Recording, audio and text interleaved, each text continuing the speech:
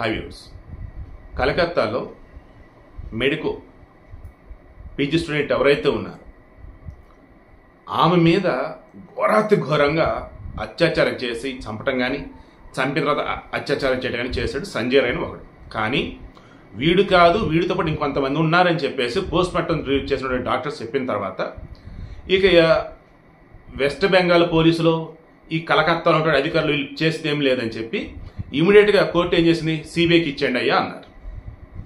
మమతా బెనర్జీ కేసును డైల్యూట్ చేద్దామని చూసింది. రేపు పద్దెనిమిది తారీఖు వరకు టైం ఇవ్వండి అంటూ ససేమేర్ అంది కోర్టు. తర్వాత ఎవరైతే ఈ కాలేజీలో ప్రిన్సిపాల్గా ఉండి నేను రాజీనామా చేసి నా తప్పు నేను ఆమె కాపాడుకోమని బిల్డప్ ఇచ్చాడు సందీప్ ఘోష్.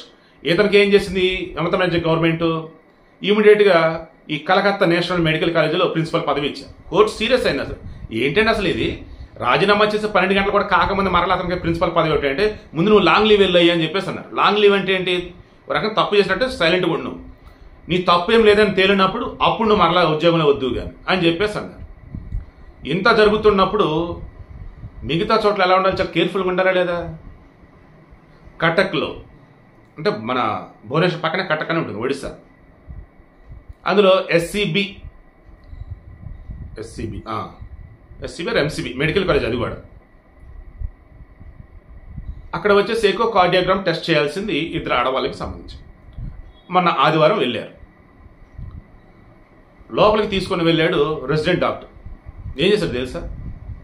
అసభ్యంగా వాళ్ళని ఏది పడితే చేయబోయాడు దాంతో వాళ్ళు కేకలు అరుపులు వేసేసి బయటకు వచ్చి వాళ్ళ బంధువులకు చెప్పారు. ఇంకా వాళ్ళు వాళ్ళని గొల్ల కొట్టుడు కొట్టారు. ఈ ఇమీడియట్గా వీళ్ళు నీరు పడినటువంటి పోలీస్ కంప్లైంట్ చేశారు. వాళ్ళు కేసు ఫైల్ చేశారు హాస్పిటల్ మేనేజ్మెంట్కి చెప్పారు వాళ్ళ కమిటీ వేశారు. ఆ డాక్టర్ ఏమో నన్ను వాళ్ళు కొట్టారని చెప్పేసి కంప్లైంట్ చేయాలి. ఈ ఆడవాళ్ళు మాత్రం మా మీద లైంగిక దాడి చేసినప్పుడు అని చెప్పి కంప్లైంట్ ఇచ్చింది. సో ఇప్పుడు నేను ఆలోచిస్తూ ఉన్నా అసలు ఈ మెడికల్ కాలేజీల తాలూకు ఆసుపత్రులు కానీ ప్రభుత్వ ఆసుపత్రులు కానీ రోగులు సురక్షితమేనా? అండ్ అక్కడ ఉన్న ట్రైనీ డాక్టర్లు కావచ్చు సీనియర్ డాక్టర్ సురక్షితమేనా?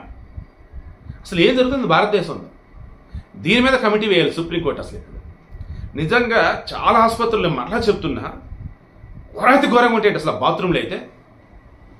ఈవెన్ వీళ్ళ యొక్క వెయిటింగ్ హాల్స్ అండ్ వీళ్ళకి అటాచ్డ్ బాత్రూమ్స్ ఉన్న డాక్టర్లకి ట్రైనీస్కి కొద్దో గొప్ప ఉంటే అవే బెటర్గా ఉన్నట్టు. ఈవెన్ అవి కూడా ఘోరంగా ఉంటాయని చెప్పేసి కొంతమంది అంటూ ఉన్నారు. ఈ వీడియో చూస్తున్న వాళ్ళు డాక్టర్స్ ఎవరైనా ఉంటే PG students or MBA students ఎవరైనా ఉంటే నన్ను మీ బ్రదర్ లాగా అనుకొని నిజం ఏంటనే కామెంట్లో చెప్పండి. ఎటు మీ పేరెటు అక్కడ డిస్ప్లే అయినా అది చాలామంది ఉంటారు కదా ఆ పేరుతో. ప్లీజ్ అసలు ఏం జరుగుతుంది? ప్రభుత్వ ఆసుపత్రుల్లో అండ్ ఈ ప్రభుత్వ ఆసుపత్రులకు సంబంధించి మెడికల్ కాలేజ్ అటాచ్ ఉంటుంది కదా అక్కడ అసలు ఏం జరుగుతుంది? ర్యాగింగ్ అంటూ కొన్నిసార్లు అరాచకం.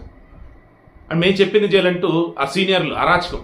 మెడికల్ ప్రీతిని అలాగైతే పాపం చంపేశారు ఆత్మహత్య చేసుకునేలాగా. తర్వాత డాక్టర్స్ ఎవరైతే ఉంటారో ప్రొఫెసర్లు ఎవరైతే ఉంటారో వాళ్ళు వచ్చేసి ఈ ట్రైనీ డాక్టర్స్ కావచ్చు అప్రెంటిస్ కావచ్చు వాళ్ళు ఇబ్బంది పెడుతుండ్రు. ఇలా చెప్పుకుంటే చాలా వస్తున్నాయండి బయటకైతే అయితే. నాకు తెలిసినటువంటి ఒక సీనియర్ మోస్ట్ జర్నలిస్ట్ ఉన్నారు. వాళ్ళ కూతురు ఇప్పుడు మెడిసిన్ పీజీ చేస్తూ ఉన్నారు. ఆయన కొన్ని సందర్భాలలో నాకు ప్రత్యేకించి కొన్ని పోస్టులు షేర్ చేస్తుంటారు వాట్సాప్లో. ఫేస్బుక్ కూడా పెడుతూ నన్ను ట్యాగ్ చేస్తూ ఉంటారు ఏంటంటే ఈ మెడికల్ ఎడ్యుకేషన్ ఎంత లోపభూయిష్టంగా ఉన్నది అండ్ మెడికల్ డిపార్ట్మెంట్ అనేది ఎంత ఘోరంగా ఉన్నది పాప ఆయన చెప్తే ఎక్స్ప్లెయిన్ చేస్తూ ఉంటారు. ఈవెన్ అతను లాయర్ కూడా మరలా. అయినా సరే ఏం చేయలేకపోతున్నాం. ఎక్కడ లోపం ఎక్కడ? గవర్నమెంటా లేదన్నప్పుడు మేనేజ్మెంటా లేదా పొలిటీషియన్సా దయచేసి ప్రాక్టికల్గా నాకు తెలుసుకోవాలని ఉంది. కింద కామెంట్స్లో తెలియచేయండి. అండ్ ఇప్పటికైనా ఆసుపత్రిలో ఉన్నటువంటి వాళ్ళు ఎవరైనా సరే కొంచెం కుదురుగా అయితే ఉండండి. అరే నాయన ఆసుపత్రికి వచ్చే పేషెంట్లు రా. ఆ పేషెంట్ తాలూకు మనుషులు వచ్చేది బాధలోనే వస్తారు? రా వాళ్ళ అటెండర్లు వచ్చిన. దయచేసి అక్కడ కూడా లైంగిక దాడులు ఏంట్రా? ఘోరం రా బాబు